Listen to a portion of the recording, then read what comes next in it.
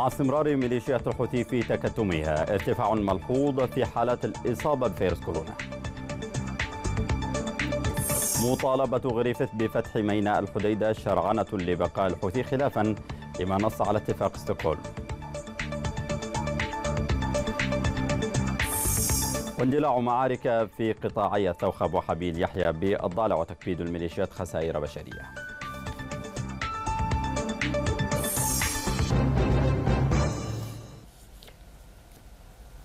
أهلا بكم. أعلنت اللجنة الوطنية العليا للطوارئ تسجيل 14 حالة إصابة بفيروس كورونا وثلاث حالات وفاة لحالات تم الإعلان عنها سابقا و15 حالة شفاء. وأوضحت اللجنة في تغريدة لها على حسابها بموقع تويتر تسجيل 14 حالة إصابة جديدة عبارة عن ست حالات في حضرموت وست في عدن واثنتي في لحج. كما تم تسجيل حالتي وفاة في حضرموت وواحدة في شبوة لحالات سابقة. وسجلت اللجنة شفاء 15 حالة وتسع من تسع منها في تعز واثنتان في عدن واثنتان في أبين واثنتان في حضرموت. وبذلك ارتفع إجمالي الحالات المؤكدة إلى 1103 حالات. و296 حالة وفاة و417 حالة تعافي.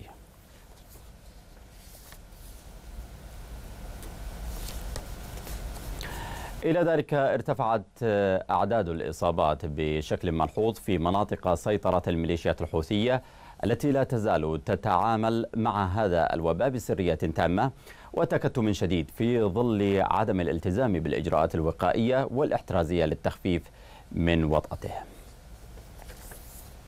تواصل ميليشيات الحوثي تكتمها حول تفشي جائحة كورونا في مناطق سيطرتها والتعتيم على أعداد المصابين وطرق دفن المتوفين السرية وصولا إلى استخدام الفيروس ورقة تجارية وسياسية من أجل الحصول على مكاسب في ظل عدم اتخاذها إجراءات احترازية ووقائية خشية توقف جباياتها وإتاواتها. وتكشف الأخبار التي يتداولها الناشطون عبر مواقع التواصل بشكل يومي.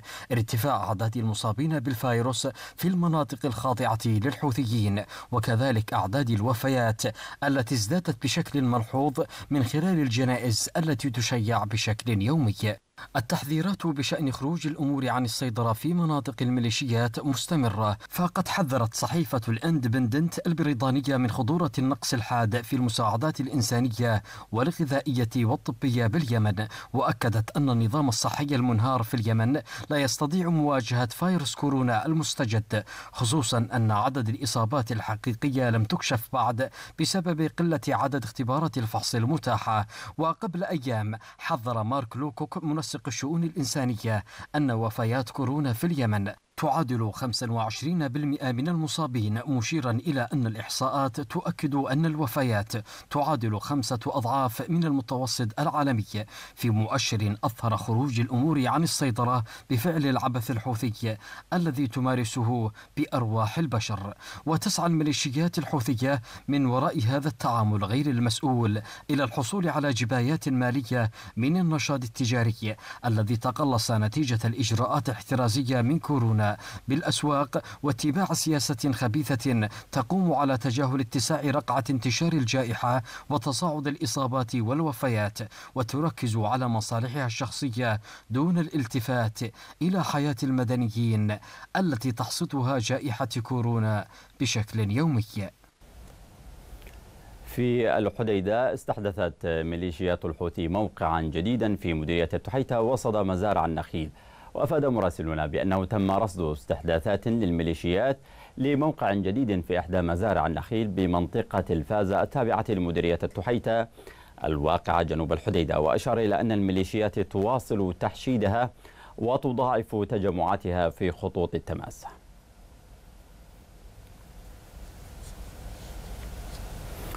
وفي التحيتة أيضا قصفت ميليشيات الحوثي القرى السكنية ومزارع المواطنين في منطقة الجبلية التابعة لمديرية التحيتة بقذائف المدفعية ومختلف أنواع الأسلحة. وقالت مصادر محلية إن ميليشيات الحوثي استهدفت القرى السكنية في مناطق متفرقة من الجبلية وذلك بقذائف مدفعية الهون وبشكل عنيف. وأضافت المصادر أن عمليات استهداف حوثية بالأسلحة الرشاشة المتوسطة ومعدل البيكا طالت أيضا مزارع المواطنين.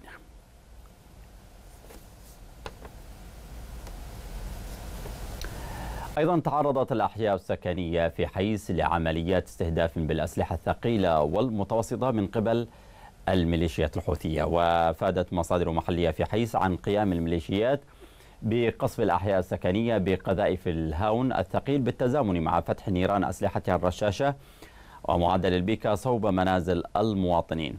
وأضافت المصادر أن القصف والاستهداف كان بشكل هستيري وخلف حالة من الرعب والهلع في صفوف المدنيين.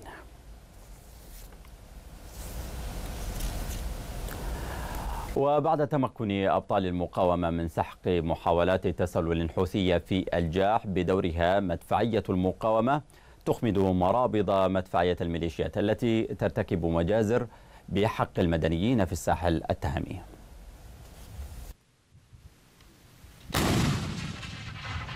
للصبر حدود رغم انضباط أشاوس القوات المسلحة البواسل من منتسبي المقاومة المشتركة بمختلف تشكيلاتها لضبط النفس حسب اتفاق السويد وتوجيهات القيادة. إلا أن الدفاع عن النفس كفلها الدستور والقانون والتعاليم الإسلامية فالقوات المشتركة جديرة لتطهير ما تبقى من حارات مدينة الحديدة وضواحيها في حال توجيهات القيادة لحسم معركة الخلاص الوطنية؟ ففي هذه المزارع شرقي منطقة الجاح بيت الفقيه تسلل عدد من عناصر الميليشيات الإرهابية بينهم قناصين وسرعان ما تم رصدهم من قبل وحدات الاستطلاع والقضاء عليهم. العمليات العسكرية ومراقبة تحركات الميليشيات وتعزيزاتها في الساحل الغربي. بلا وهن ولا ضعف. ومشاهد القضاء على هذه العصابة المتسللة جانبا من مظاهر الخيبة والإخفاق الذي يتحكم على من يزج بهذه العناصر الإجرامية ودفع بمزيدا من المغرر بهم إلى محارق الموت.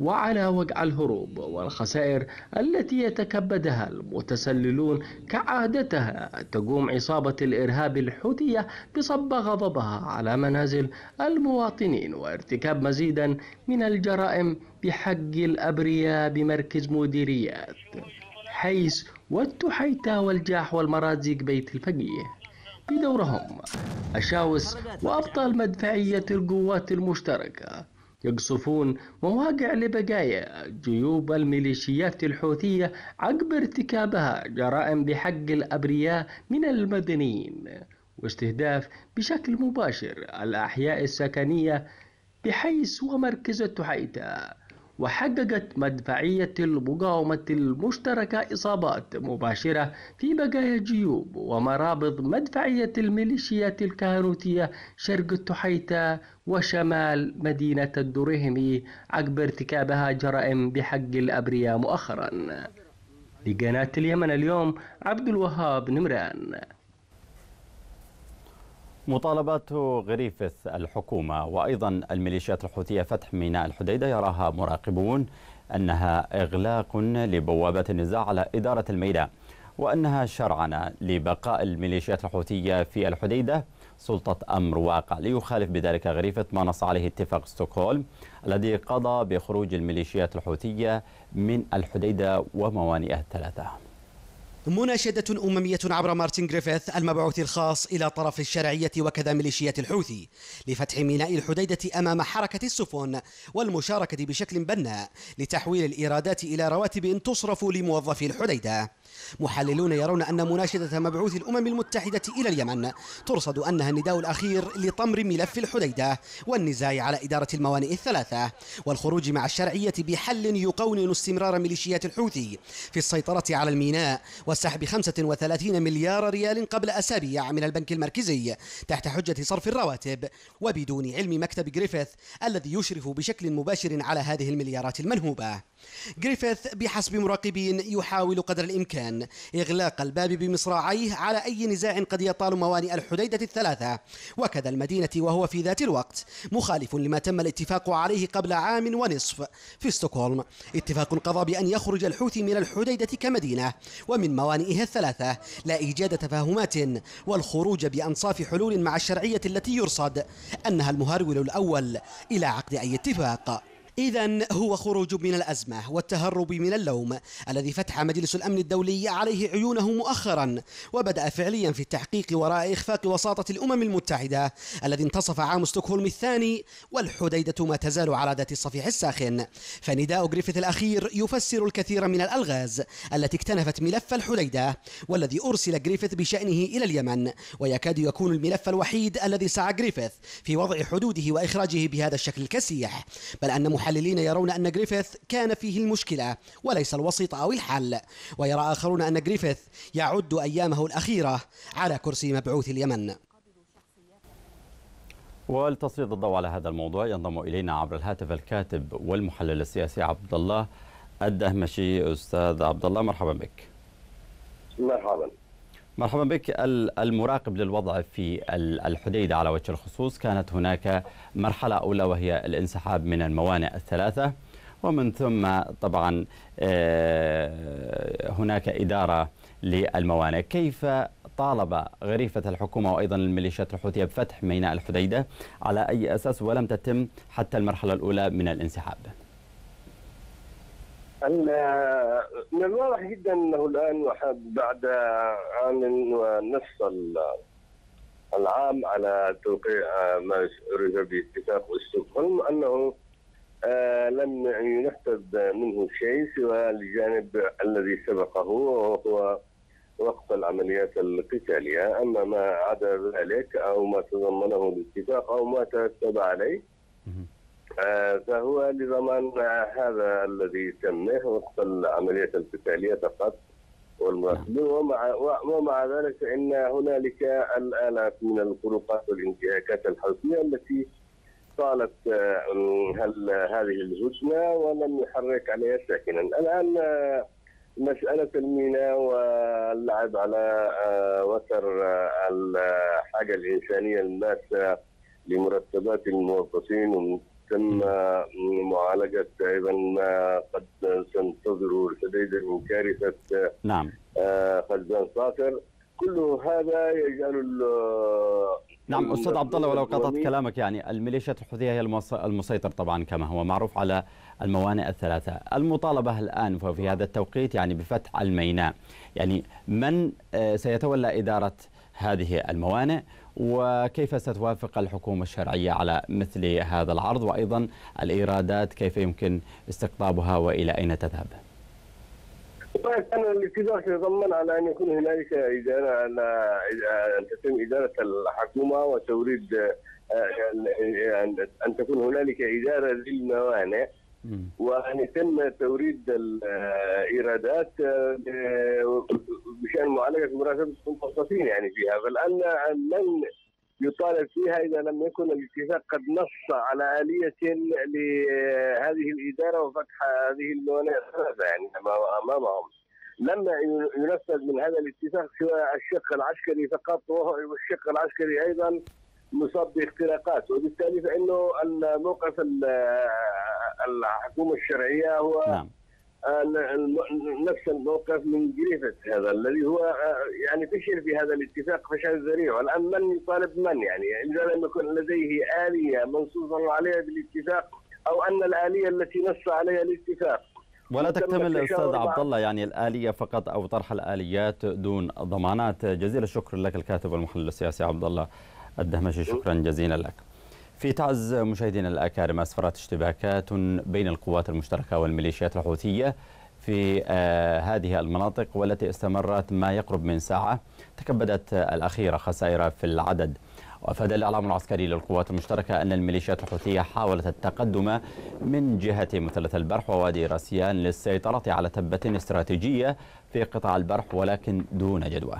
مؤكدا أن الوحدات من القوات المشتركة تصدت لعناصر الميليشيات وقامت بإجبارها على العودة من حيث أتت بعد مصرع وجرح العديد منهم.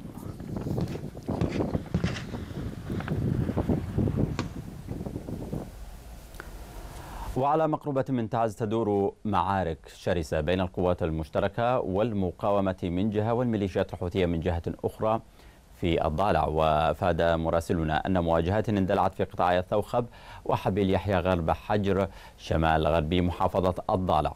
وأضاف أن سلاح الدروع قصف التجمعات للميليشيات التي تكبدت خسائر كبيرة فيما المواجهات مستمرة بمختلف أنواع الأسلحة.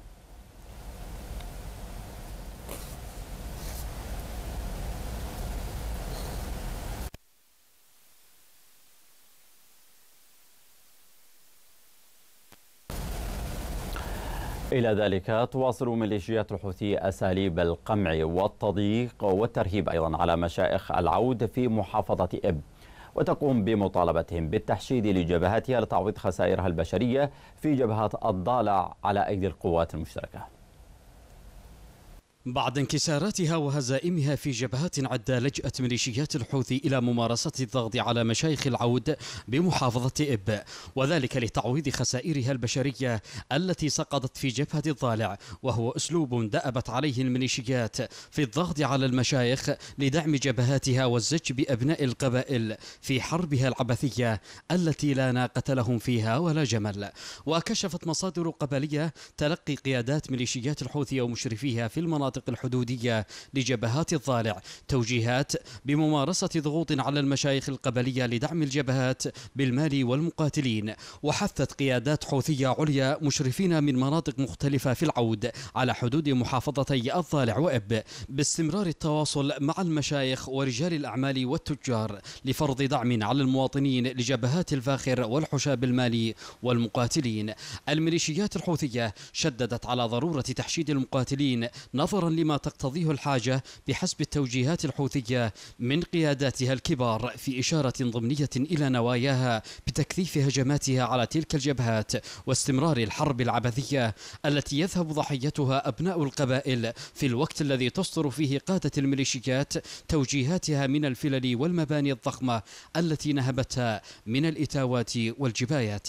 مصادر محلية تحدثت بأن المشايخ والشخصيات الاجتماعية كانت قد أكدت في وقت سابق لقيادات الحوثي بأنها لن تكره المواطنين على تقديم أبنائهم للقتال ومن لديه الرغبة بذلك سيتوجه من تلقاء نفسه إلا أن الميليشيات تلجأ للابتزاز والقمع لكل من يخالف توجهاتها ويرفض إملاءاتها التي تغرق الجميع في مستنقع العنف وسفك الدم. وبالعودة إلى مستجدات الوضع في الضالع ينضم إلينا المتحدث باسم محور الضالع فؤاد جباري. مرحبا بك. مرحبا عزيزي يسعد مساك. يسعد مساك يعني. هناك يبدو أن مواجهات أثيرت يعني في الآونة الأخيرة في تحديد على قطاع الثوخب وأيضا حبيل يحيى. هل لك أن تطلعنا على مستجدات هذه الهجمات؟ نعم أخي العزيز المواجهات آه في الاونه الاخيره تركزت في قطاعي الثوخب وحبيب يحيى كان آخرها الساعات الماضية آه بدات المواجهات منذ وقت أذان الفجر حتى الساعة الثانية عشر ظهرا. الميليشيات دجت العشرات من عناصرها في محاولة منها التقدم نحو مواقع القوات الجنوبية والمشتركة في قطاع الثوخب شمال شرقي مديرية الحوشه لكنها انكسرت بعد تلقيها خسائر كبيرة وفادحة عشرات من عناصر الميليشيات الحوثية مصرعهم وأيضا جرحى من هؤلاء. لا زالت جثث البعض منهم إلى نعم فؤاد يعني يبدو أن هناك محاولات متكررة. نعم. نعم.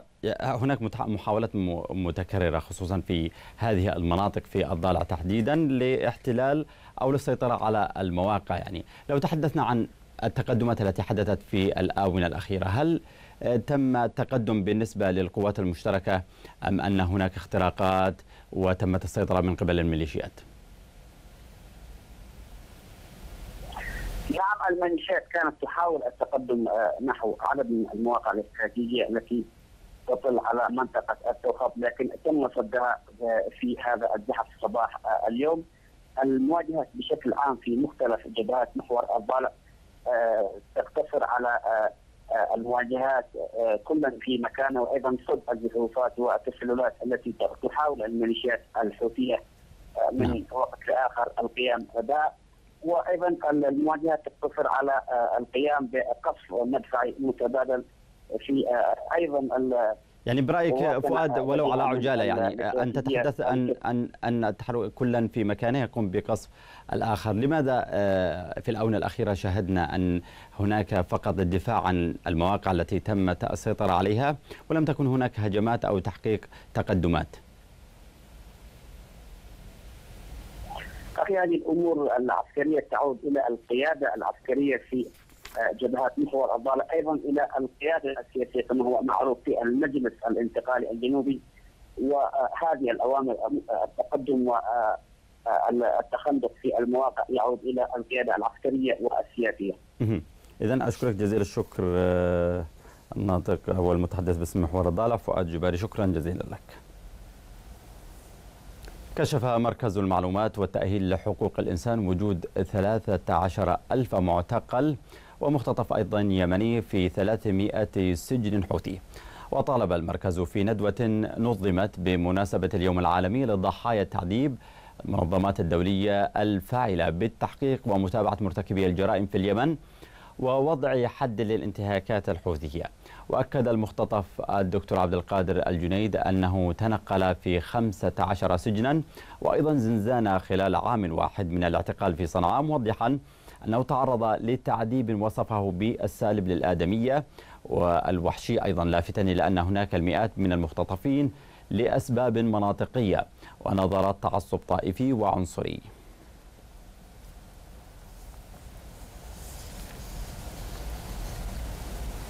تتابعنا بعد الفاصل. اليونسف تحذر من زيادة تدهور الوضع المتردي للأطفال بسبب النقص في تمويل المساعدة الإنسانية.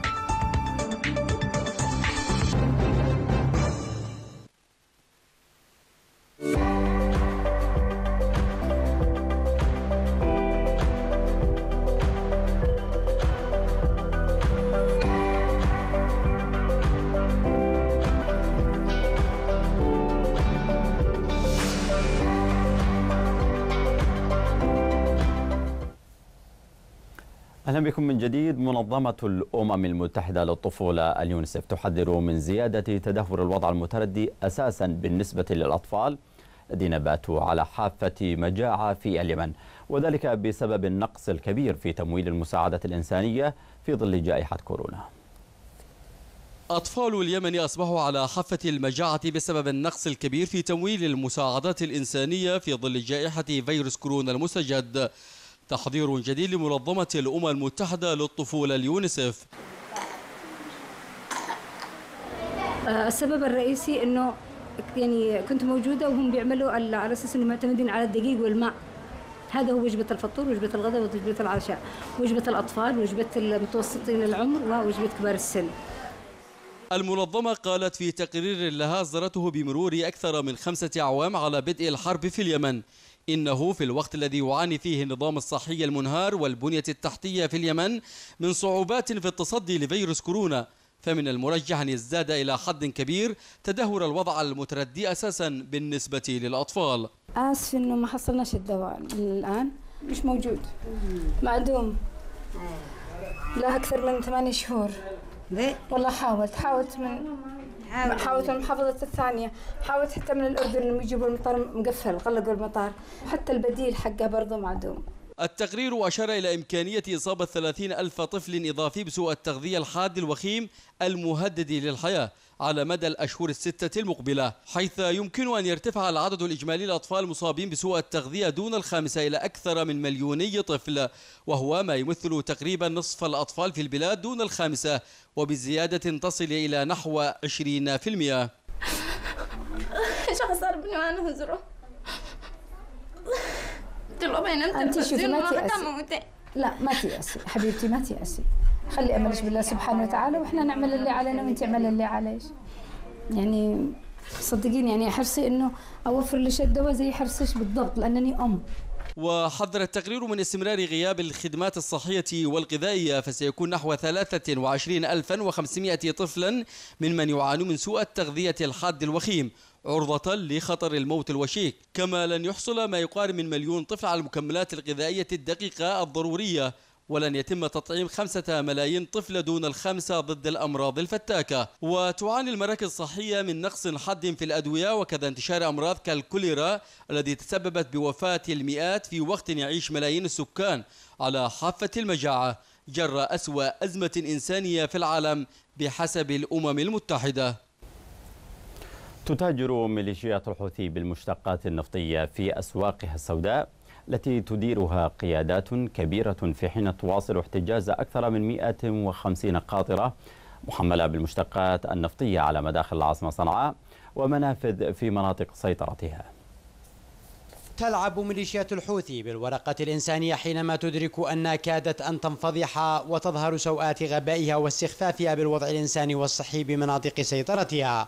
ففي الوقت الذي تحتجز فيه القادرات المحملة بالمشتقات النفطية على مداخل عاصمة صنعاء تفتعل أزمة مشتقات خانقة يتضرر منها المواطن في المقام الأول في حين أن طقومها وسيارات قياداتها ومشرفيها تجوب الطرق والشوارع مليئة بالبنزين بينما المواطنون يدخلون في طوابير طويلة لأيام عديدة في سبيل الحصول على أربعين لترا من البنزين والتي لا تكفي سوى لبضعة أيام.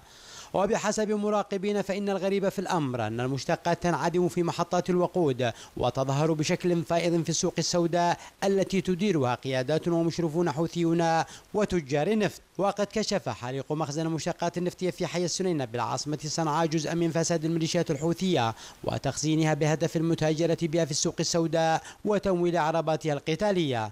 وتشهد العاصمة صنعاء وبقية المناطق الخاضعة لسيطرة ميليشيات الحوثي أزمة طاحنة في المشتقات النفطية منذ نحو أسبوعين وسط انتعاش لبيعها في السوق السوداء حيث تجاوز سعر الدب العشرين لتر من البنزين والديزل سقف العشرين ألف ريال مع رفضها تخفيض الأسعار أسوة بالمحافظات الأخرى بما يتوائم مع الانخفاض الكبير لأسعار النفط في الأسواق العالمية. يأتي هذا في وقت تواصل ميليشيات الحوثي احتجاز أكثر من 150 قاطرة محملة محملة بمادتي البنزين والديزل في عدة منافذ خاضعة لسيطرتها. في حين تستثمر المعاناة الإنسانية لتحقيق مكاسب سياسية ليس إلا بحسب اللجنة الاقتصادية العليا.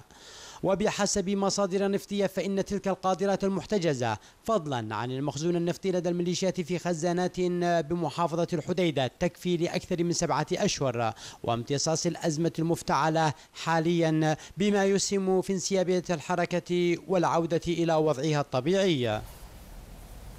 هاجمت أسراب كبيرة من الجراد محافظة مأرب. ما يهدد الإنتاج الزراعي في هذه المحافظة؟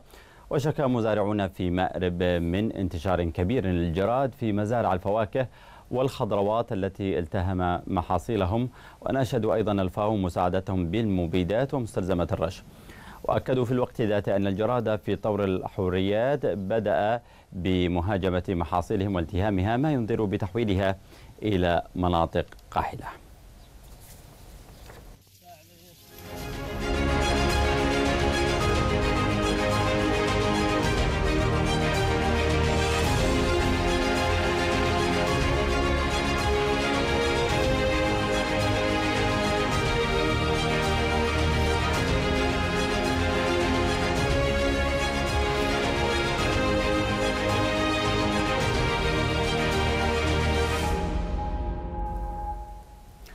مددت وزارة الأوقاف والإرشاد فترة إعادة وكالات السفر حقوق الحجاج إلى نهاية شهر ذي الحجة. إثر قرار وزارة الحج السعودية محدودية عدد الحجاج لهذا العام بسبب فيروس كورونا والاكتفاء بالمقيمين داخل المملكة لأداء هذه الفريضة. اقتصار أداء مناسك الحج لهذا العام على المقيمين فقط في المملكة العربية السعودية بسبب فيروس كورونا. أحدث إرباكا لدى الكثير من وكالات السفر والحج والعمرة ما دفع وزارة الأوقاف اليمنية إلى تمديد فترة إعادة الوكالات لحقوق الحجاج اليمنيين المسجلين في هذا العام حتى نهاية ذي الحجة من أجل أن تتمكن الوكالات من الإيفاء بالتزاماتها نحو الحجاج. وأوضح قطاع الحج في بيان صادر عنه أنه يتعذر نظاما إرجاع الضمانات لأي وكالة كونها أي الضمانات يتم إيداعها لضمان حسن الأداء واستمرار النشاط في أعمال الحج والعمرة وأن هناك إشكالا قائما في تفاصيل مبالغ الضمانات منذ اجتياح ميليشيات الحوثي للعاصمة صنعاء في سبتمبر من العام 2014 وأكد القطاع أن جميع المبالغ المسلمة له تم إيداعها في حسابات الوزارة بالبنك الأهلي السعودي حساب الضمانات. وهذه الحسابات لا يتم فتحها إلا في شهر رجب. ولا تستطيع الوزارة التعامل معها إلا في نهاية شهر رجب الحرام من كل عام. لذا فإنه يتعذر صرف أي مبلغ من مبالغ الضمانات لأي وكالة. كما وجه القطاع الشكر والامتنان للوكالات المبادرة في استكمال صرف مبالغ الحجاج. ودعا البقية لسرعة سداد خلال الفترة المحددة بنهاية شهر ذي الحجة. وجاء إعلان قطاع الحج اليمني بعد قرار المملكة العربية السعودية باقتصار موسم الحج لهذا العام على المقيمين في المملكة من مختلف الجنسيات.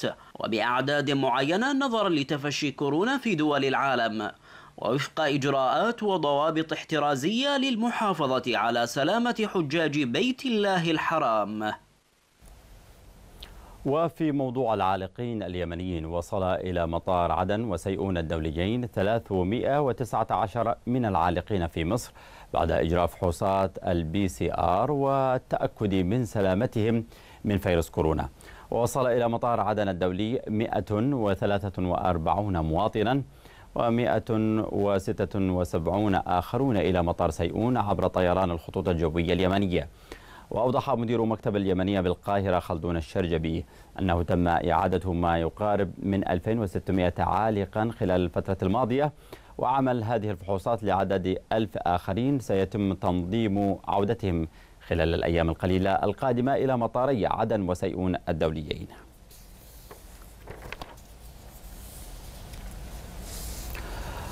يواصل فيروس كورونا المستجد انتشاره في مختلف دول العالم حيث تجاوز عدد المصابين بكوفيد 19 عشرة ملايين وتخطي عدد الوفيات النصف مليون شخص. وذلك منذ ظهور الفيروس في الصين لأول مرة في ديسمبر الماضي. وذكرت آخر الإحصائيات أن عدد الإصابات بالفيروس التاجي بلغت أكثر من عشرة ملايين و108 ألاف شخص ووصلت حالات الوفيات إلى أكثر من 500 وألف وحالة وفاة فيما تجاوزت في الحالات الشفاء الخمسة ملايين وأربعمائة وثمانين ألف شخص.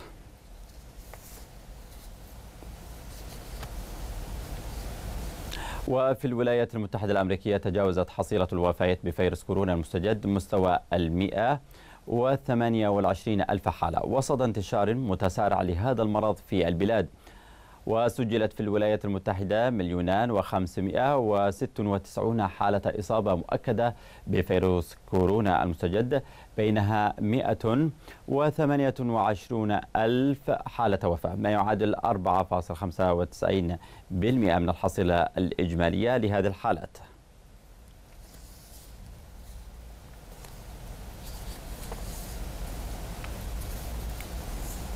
من جانبها أعلنت وزيرة الصحة الفلسطينية مي الكيلا أنه تم تسجيل 258 إصابة جديدة بفيروس كورونا وهي الأعلى في يوم واحد إضافة لتسجيل حالة وفاة بهذا الفيروس.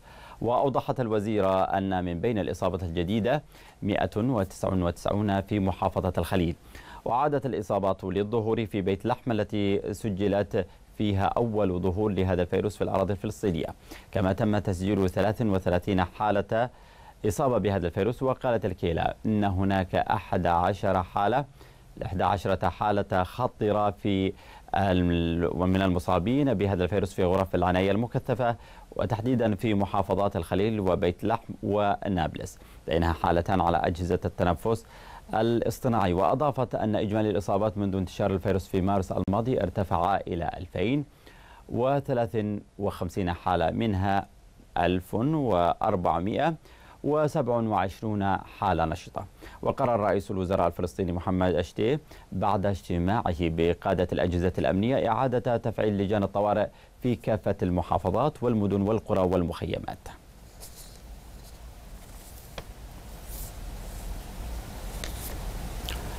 كما أشارت وزارة الصحة التشيكية إلى تسجيل أكبر زيادة في الإصابة بكوفيد 19 منذ أكثر من شهرين مع وجود بؤر عدة لهذا الفيروس. وأبلغت الوزارة عن تسجيل 168 حالة إصابة وهي أسرع زيادة يوميا منذ الحادي عشر من إبريل و120 إصابة أخرى حتى مساء السبت.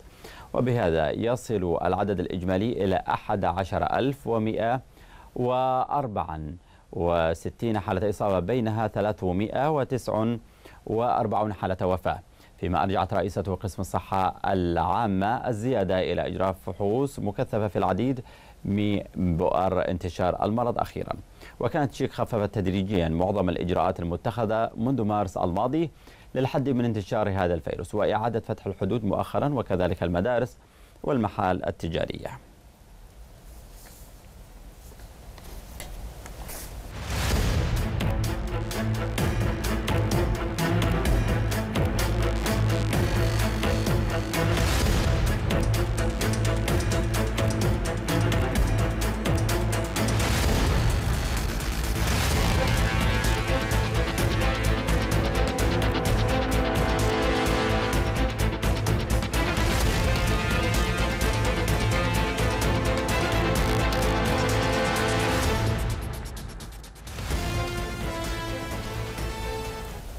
تذكير بأبرز عناوين هذه النشرة.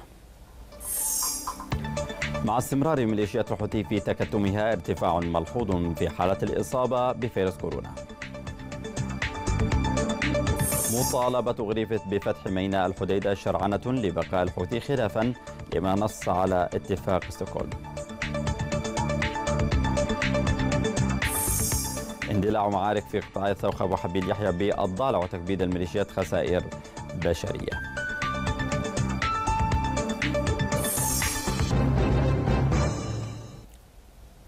لقاؤنا يتجدد بإذن الله تعالى في النشرة القادمة. إلى اللقاء.